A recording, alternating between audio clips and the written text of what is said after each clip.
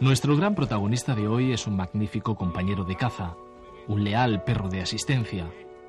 Pero por encima de todo es el paradigma del perro cobrador. Dentro de las múltiples modalidades de perros de caza, nuestro programa todavía no había tenido el privilegio de relatar las virtudes de una de las tres razas más inteligentes que se conocen.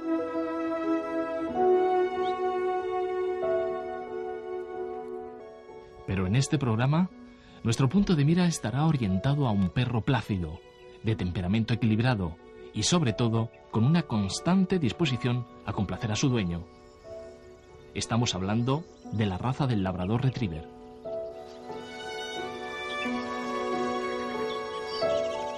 Versátil y de carácter afable, este perro de caza tiene su origen en la península de Labrador, en Canadá, donde unos pescadores ingleses descubrieron sus grandes facultades para cobrar cabos de redes sumergidas en aguas heladas. Son ejemplares de contextura fuerte, región renal corta, cráneo amplio y pechos y costillas vastas y profundas. Poseen un excelente olfato y son muy aficionados al agua. El estándar de la raza dictamina que las orejas no deben ser grandes ni pesadas, que el peso del macho debe rondar los 30-35 kilos y los de la hembra entre 25 y 30. Básicamente deben tener una cola de nutria, ancha en su base, afilándose progresivamente hasta la punta y sin flecos, corta y fuerte, que al mismo tiempo sirva de timón al nadar como factor de equilibrio al correr. Un equipo de nuestro programa se acercó a la localidad madrileña de El Escorial para intentar mostrarles los secretos de esta raza con Pedro García, responsable de labradores de Abantueso, y César Villamiel, adiestrador, y para muestra un botón. Hola, soy Pedro García y os voy a presentar a mi familia de labradores. Pipo, Pipo, ven aquí, bonito. Pipo, ven. Muy bien, chico, ven aquí. Pipo, muy bien, siéntate. Ringo, ahora, ven aquí. Ven aquí, ven aquí, Ringo. Ven, ven, bonito. Siéntate aquí. Ahí, quieto. Quieto. El labrador retriever se caracteriza también por un pelaje denso, corto y doble. Una capa externa y áspera, donde nada se le queda pegado por mucho tiempo, sea agua, barro o nieve. Y una capa interna de pelo lanudo que es virtualmente impermeable, para que el cuerpo del perro no se enfríe, aunque quede mojado durante horas. Esta raza tiene tres mantos, color negro, el más masivo y corpulento, el dorado y el chocolate. En la selección física buscamos perros con muy buena estructura, con muy buenas angulaciones, con una buena línea superior en todos los perros y, por supuesto, eh, con sus buenos aplomos. También buscamos esto, ¿no? Un perro eh, que tenga unas cualidades muy grandes de complacer y, sobre todo, relacionadas en el tema del cobro, que sea un perro capaz de traer y portar las cosas sin dañar las piezas, sin escapar, lo que es un perro con una buena entrega a la hora de cobrar. Además del estándar de la raza, es vital la labor de adiestramiento, obediencia básica, buena inmovilidad, caminar al lado y sentarse a la orden. De cachorros sabe mucho Pedro García, criador de labrador y defensor acérrimo de sus logros. Junto a Ricardo Vicente, instructor de movilidad de perros guía de la ONCE, discriminan minuciosamente los mejores ejemplares en lo que se denomina la elección del cachorro a través de una serie de pruebas técnicas. Mira, mira, mira. Vamos. Ven, ven. Coge, casi tú coge ahí. Coges todo este. Sí, mira.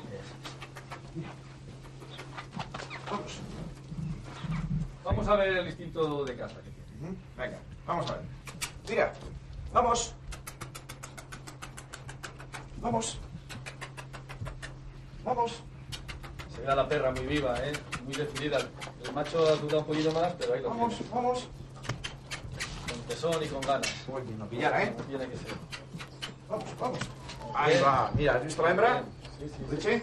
La hembra, Machos, machos, machos, la hembra se la da ahí con mucho coraje. El macho es un poco Oh, más templado. oh, oh.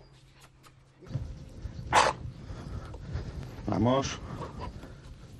Versatilidad y gran adaptabilidad a todo tipo de lances son las dos grandes ventajas de tener a un labrador como compañero de caza. En época de media veda acompañamos a César a tirar tórtolas y palomas. Nos acompañan también sus dos canes, Jonás, un macho de manto negro, y Tula, una hembra de manto dorado. Tan importantes como la capacidad para el cobro son otras actitudes del cachorro de labrador. Pedro y Ricardo nos las recuerdan en las distintas pruebas técnicas. El ejercicio de tolerancia al ruido, es decir, hasta qué punto el cachorro soporta las detonaciones de las armas de fuego. La prueba de sumisión y dominación, esto es, un examen de obediencia básica. Y la de sensibilidad, para calibrar su resistencia física en condiciones extremas.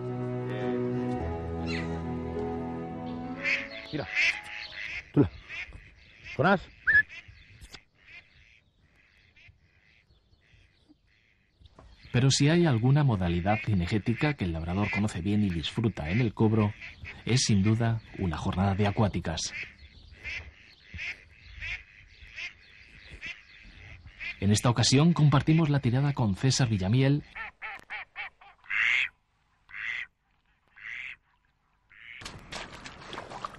Como corresponde a la cruda temporada invernal, los cazadores lidian con paisajes de nevadas.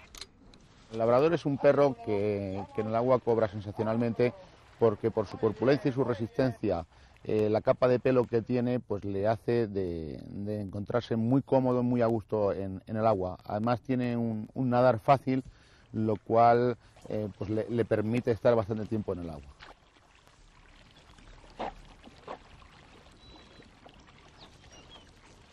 Muy bien, Tula, muy bien. En esta ocasión, los dos cazadores se ayudan de vadeadores para llegar al puesto. Quieto, Jonás, ahí. Muy bien, Tula. Bravo. Muy bien. Hemos tenido un día de, de cacería en pato sobre unas lagunas.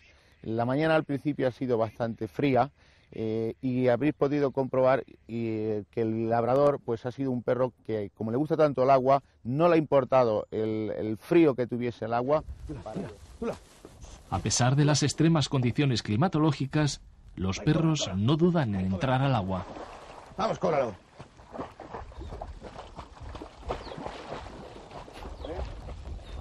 ¿Eh?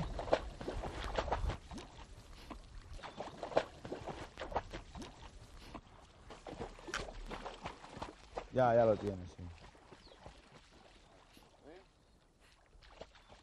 Muy bien, Tula, muy bien.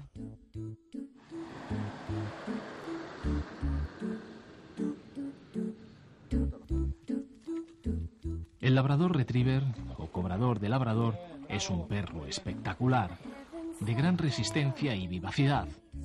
Este magnífico compañero de caza siempre está dispuesto a agradar a su dueño y exhibir sus virtudes en cualquier modalidad cinegética. Es, en definitiva, el cobrador por excelencia.